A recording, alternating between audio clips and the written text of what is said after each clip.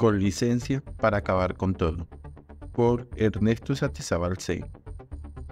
Cuando elegimos presidente en Colombia parece que elegimos a uno con licencia 009, con permiso para acabar con todo lo que funciona bien y sin que nadie pueda detenerlo.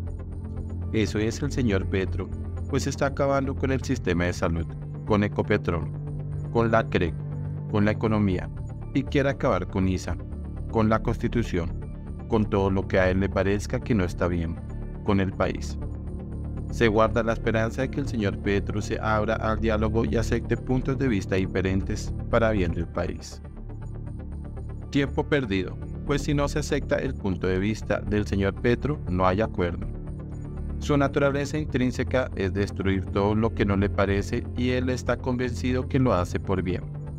Y lo peor es que parece que no hay quien lo detenga, pues los usuarios de la CPS somos pasivos y no reaccionamos. El Senado se rinde ante la mermelada.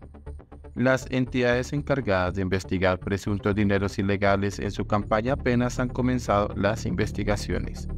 La corrupción campea por todas las áreas del gobierno y así, con nuestra pasividad y las investigaciones a paso de tortuga, ¿quién podrá salvar a Colombia de la debacle a que nos está conduciendo el mandatario?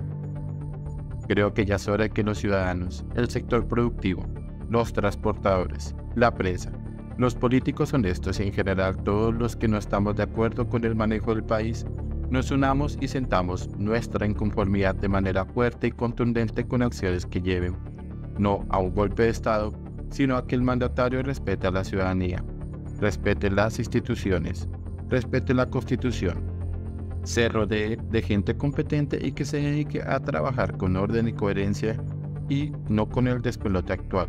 Y si no, que renuncie.